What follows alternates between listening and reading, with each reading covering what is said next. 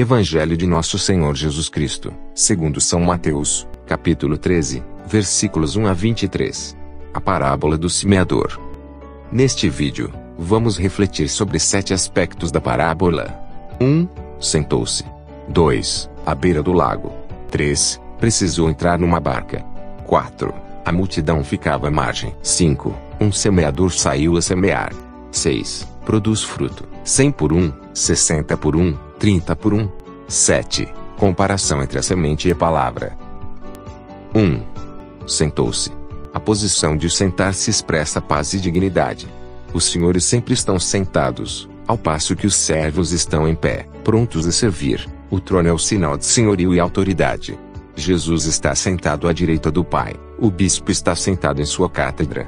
É a atitude simbólica do juiz, que dá a sentença. Liturgia. Ao administrar o sacramento da penitência, o sacerdote deve estar sentado, a fim de caracterizar o ato de absolver, como ação jurídica. 2. À beira do lago. A. A palavra lago aparece 11 vezes no Novo Testamento.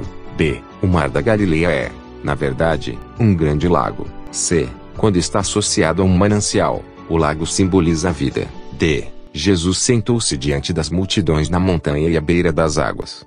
É. Ele sentou-se a primeira vez à beira do lago, e logo em seguida dentro do barco, que estava no interior do lago. Simbologia. Quem não ouve a palavra e a põe em prática, corre o risco de ficar à margem da vida, e de ser lançado no lago de fogo após a morte. 3.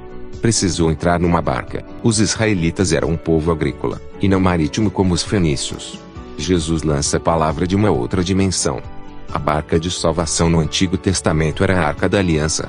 Jesus traz uma nova aliança em seu sacrifício, e a sua palavra é a nova barca de salvação das multidões. Jesus sentava-se na barca de Pedro, afastava-se da margem, e ensinava as multidões. 4. A multidão ficava à margem. Os discípulos haviam entrado na barca com Jesus, e se aprofundado no lago da sua palavra. A multidão podia ver e ouvir a palavra, mas ainda não estava inserida nela. Há um paralelo com Mateus 15, 25 a 27. Os cães, dóceis e humildes, comem as migalhas, pequenos fragmentos, do pão, palavra e pão da vida, dado aos filhos, e que caem da mesa. 5. Um semeador saiu a semear. Ao sair, ele se colocou em movimento, tomou uma atitude, exerceu uma atividade, praticou uma ação, e não uma reação. O semeador tinha um objetivo definido. Ele sabia o que fazer, onde e como fazê-lo. Depois de sair e semear, restava guardar a reação diante da ação que ele havia praticado. Reflexão: todo cristão recebe o Espírito Santo para agir em favor do reino de Deus, e não para reagir diante das circunstâncias.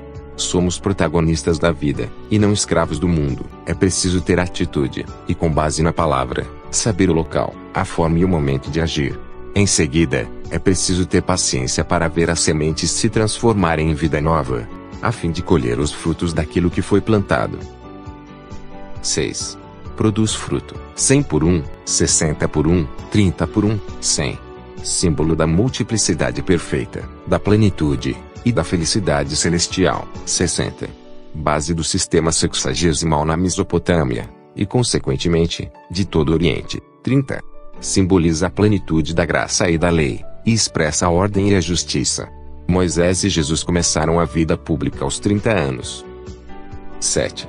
Comparação entre a semente e a palavra. A palavra de Deus é uma semente espiritual, que depois de plantada, regada e germinada, cria raízes no coração do homem e produz frutos espirituais. Um povo espiritual. A semente espiritual é plantada pela pregação, regada pela oração e germinada pela fé. Seu fruto é o amor. O crescimento da semente vem de Deus. Precisamos do Espírito Santo, que recebemos no batismo, diariamente vivo e ativo em nossos corações. Esperamos que este resumo tenha plantado várias sementes de fé, esperança e caridade em seu coração, e que você saia a semear, com alegria. Louvado seja nosso Senhor Jesus Cristo.